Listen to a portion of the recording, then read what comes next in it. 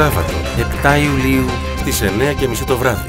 Τα Παναυκά, στο ανοιχτό θέατρο Ποντοκόμης, από τη θεατρική ομάδα του Πολιτιστικού Συλλόγου Άρδασας. Η γνωστή κινηματογραφική επιτυχία της Κακομήρας τώρα στα ποντιακά. Τεμέτερο Νοζίκων, έρτεση Ποντοκόμην.